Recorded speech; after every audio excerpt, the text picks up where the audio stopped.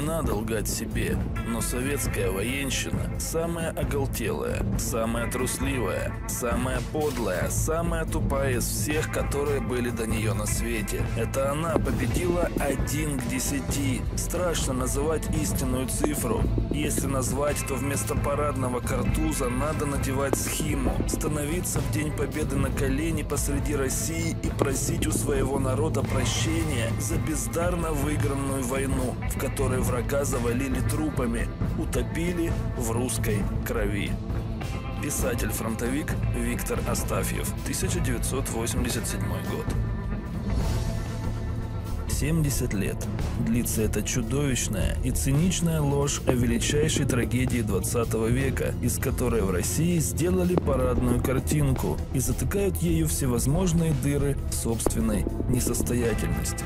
День Победы и культ Георгиевской ленты сегодня приобрели в Российской Федерации настолько уродливые формы на всех уровнях, что это уже является откровенным глумлением над памятью миллионов павших воинов, а также плевком в душу тем немногим ветеранам, которые дожили до наших дней.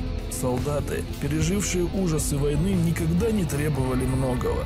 20 лет после войны День Победы вообще не праздновался и был обычным будним днем. Да и что было праздновать? Все помнили цену этой войны и ненавидели бездарное советское командование, сварившее в котлах десятки дивизий. В памяти был жив еще и 1939 год, начало Второй мировой, в которой Советский Союз выступил союзником фашистской Германии, а о совместном советско-фашистском штурме Брестской крепости вообще не принято говорить вслух. Но поляки помнят это кровавое побоище и раздел Польши между Гитлером и Сталиным. Это позорное событие было с помпой отмечено совместным немецко-советским парадом в Брест-Литовске, отошедшим Советскому Союзу. Кровавые диктаторы сделали немецких и советских солдат братьями по оружию. Генерал Гудериан и комбриг Кривошеин принимали парадные колонны фашистов и красноармейцев. В Бундесархиве сохранились не только фото-видеоматериалы, но и документы, в которых это совместное торжественное шествие войск названо немецко-советским парадом Победы. Из воспоминаний очевидца. Сначала промаршировали немцы. Военный оркестр играл незнакомый мне марш. Затем в небе появились немецкие самолеты. Красноармейцы шли вслед за немцами. Они совершенно не были на них похожи. Шли тише и не печатали шаг коваными сапогами, так как были обуты в брезентовые ботинки. Ремни у них были также брезентовые, а не кожаные, как у немцев. Кони, тянувшие советские орудия, были малорослые и неприглядные. Упряжь лишь бы как какая. За советской артиллерией ехали гусеничные тракторы, которые тянули орудия более крупного калибра, а за ними двигались три танка. Совершенно естественно, что после окончания войны обо всех этих позорных событиях начала Второй мировой было решено забыть, и ни о каком ежегодном параде Победы и речи быть не могло. А если вспомнить еще и советско-финскую войну 1939 года, после которой СССР исключили из Лиги наций как агрессора, то вполне понятно, почему последующие два десятка лет 9 мая было не более чем простой датой в календаре. Фронтовики вообще не любили вспоминать войну, ведь ничего великого и героического в ней не было. К сожалению, подвиги освободителей зачастую носили совсем неприглядный характер. Взаимная жестокость к мирным жителям уравняла перед историей человечества обе воюющие стороны – гитлеровскую Германию и Советский Союз. Война по определению не может быть иной, кроме как бесчеловечной, ужасной, жестокой, грязной и кровавой. Должно было пройти немало времени, чтобы ужасы войны позабылись, и у Кремля появилась возможность мифологизировать. И в 65-м впервые за прошедшие 20 лет был проведен торжественный военный парад в честь 9 мая, положивший символическое начало новой мифологии СССР о Великой Победе, со временем затмившей мифы о революции и великих завоеваниях октября.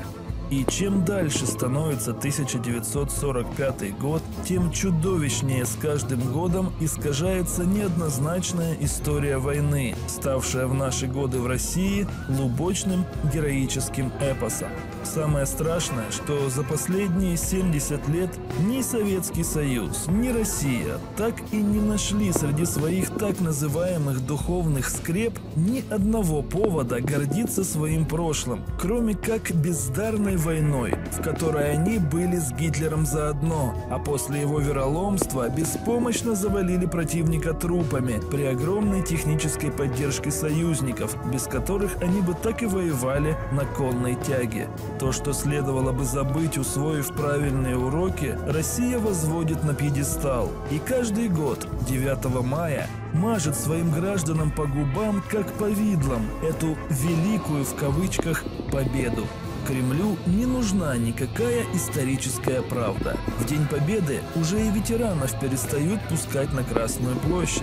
Их место занимают более молодые, ряженые благообразные старички, которые не будут портить красивой телевизионной картинки. Внимательнее всмотритесь в этом году в телевизор и посчитайте количество дважды и трижды героев Советского Союза на трибунах, а после просто сверьтесь с Википедией. Сегодня все меньше стран хотят разделять с Россией ее победобесие. И к 70-летию Победы рядом с Путиным окажутся вовсе не союзники, а темнокожие лидеры половины африканских стран. Почему половины? Потому что даже из Африки согласились приехать не все.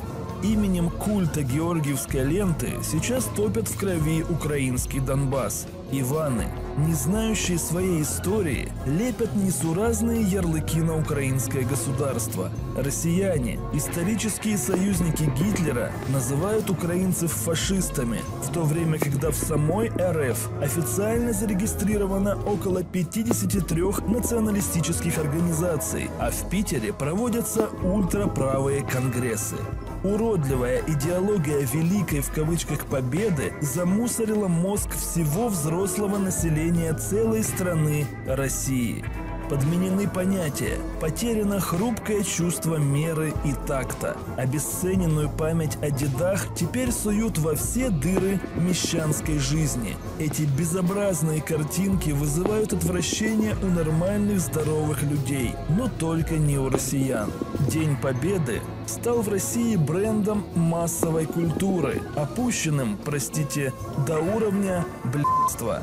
Либо же наоборот, блядство просто выросло до государственных размеров. И теперь в угаре строительства русского в кавычках мира современные русские воины преодолевают небывалые границы морального уродства, устраивая кровавую баню всем, кто не разделяет их ценности. Их русские деды были бы в шоке, узнав, что потомки, обвешанные георгиевскими лентами дегенераты, воюют с украинским народом. Русские пришли на украинскую землю с оружием. Какой омерзительный плевок на память предков, на которых помимо груза собственных деяний ложится еще и тяжесть преступлений их скурвившихся внуков. Русскому народу не отмыться никогда. Невозможно не отмолить эти грехи, не заслужить прощения, ничего. С Россией кончено, писал еще сто лет назад Максимилиан Волошин. Видимо, мы наблюдаем чудовищную, затянувшуюся агонию.